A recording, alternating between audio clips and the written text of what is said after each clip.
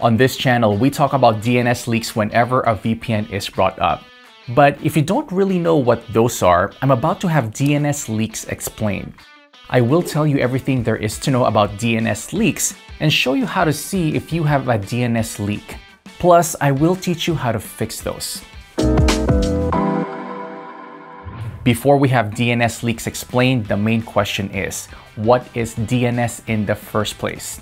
DNS stands for Domain Name System, and it's a system that matches domain names with corresponding IP addresses. Take our website for example. By typing vpnpro.com, you will invoke a DNS server that will request a unique IP address associated with this name. Browsing without a VPN would make all your requests pass through ISP-owned DNS servers, unless you configure your router to work with a different DNS, which is not that easy. At the end of the day, this basically means that your ISP knows every website you visit. With a VPN though, since your requests are rerouted through a VPN server, your ISP will not get any such information. At least that's how it's supposed to work. But sometimes DNS leaks can occur.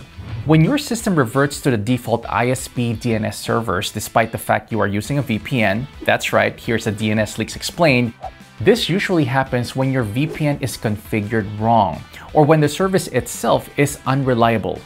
In rare instances, a VPN you are using may not have its own DNS servers at all. All those cases cause your connection to leak outside of the secure VPN tunnel, exposing all your private data.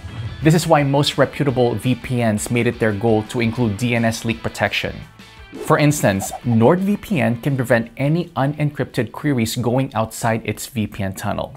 If you want to give it a shot, a secure VPN that can protect you from DNS leaks, I will leave discounts for NordVPN in the description below. It really is a reliable option, but even if you end up using it, you have to know how to check for DNS leaks. Answering the is my DNS leaking question is fairly simple. Some VPN providers even have tools made specially to check for DNS leaks. For instance, Surfshark's DNS leaks test is really good if you are using this VPN. But if not, it will show leaks all the time, so it's not my top choice. Instead, I prefer to do a DNS leak check with websites like ipleak.net or dnsleaktest.com. They both are almost identical, just run the DNS leaks test and check if you are still getting your original IP even when using a VPN. So first, check your original IP using one of those websites, then connect to a different server using your VPN and test the VPN connection with the same website.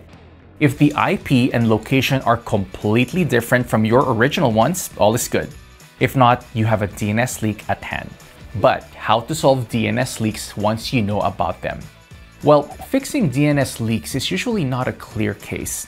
Sometimes simply reconnecting or choosing a different VPN server will do the trick. Other times, you will need to clean your cache and browser cookies as they can keep information about your previous connection.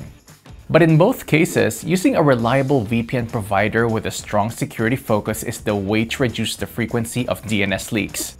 I recommend NordVPN and Surfshark, both offer dedicated features to prevent DNS leaks, and I can offer you the best deals for those VPNs, just check out the links in the description. And that's about it guys. If you have any more questions or want to have another VPN specifics explained, leave a comment. Hopefully, you learn how to see if you have DNS leaks from this video and I am going to help you learn more in the future. Thanks for watching and I'll see you guys soon.